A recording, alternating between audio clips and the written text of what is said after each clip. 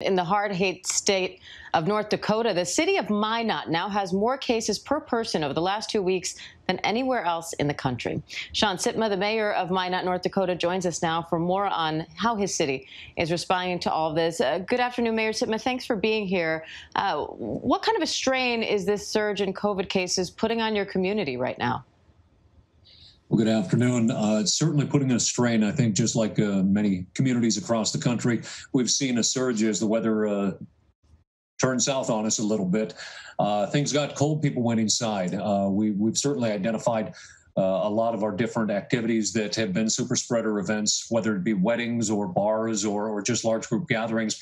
I think like we've seen many areas across the country, but the strain uh, that uh, that you just aired was the healthcare workers. Uh, our issue isn't necessarily the availability of beds, but the availability of staffing, as uh, many staff have either contracted COVID or have close contact or have family members um, that has been the challenge. And uh, we're working hard not only within our community, but all of the uh, state partners, the hospitals themselves, working collectively to ensure that we continue to provide adequate, adequate health care. But the strain extends all through the, the entire, I think, gamut of society, whether it be economical, uh, economic or psychological. Um, it, it is uh, trying times. The New York Times highlighted Minot as one of the hardest hit places right now, but the report paints a sharp contrast between what you see in the community versus what you see in the hospital. What's your take on that? Well, and what you see in the hospital is uh, of is exactly a pandemic situation where outside access has been completely shut off to visitors, as it as it should be.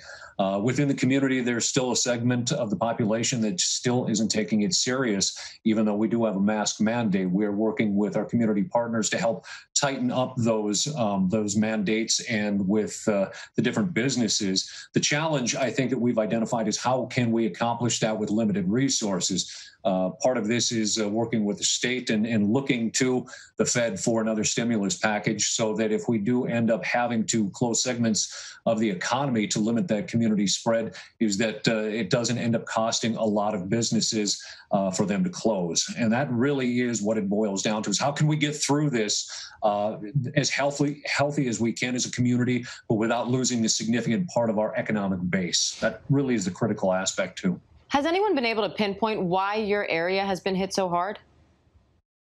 Well, as we kind of anticipated uh, when the weather turned cold, we would anticipate a lot of this spread to take place as more people are spending time indoors.